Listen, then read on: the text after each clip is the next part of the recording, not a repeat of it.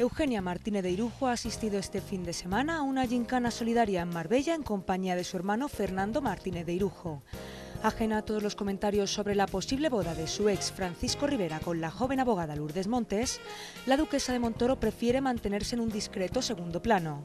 Aunque aún no le ha dado la nulidad matrimonial, Eugenia afirma que le parece muy bien que su ex se case con ella porque es una chica estupenda.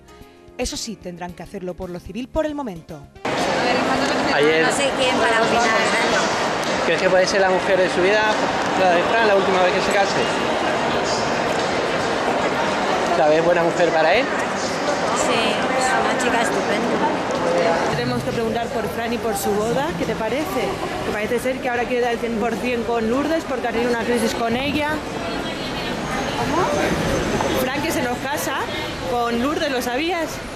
Decían que es la primera semana de febrero y que parece ser que han tenido una crisis y como que Fran ahora quiere dar el 100% con Lourdes.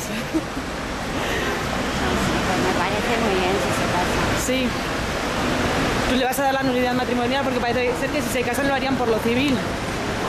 Que la familia de Lourdes no está muy contenta con esa opción, pero bueno. Yo no sé nada, hija mía, me estás preguntando unas cosas que... Muchas gracias.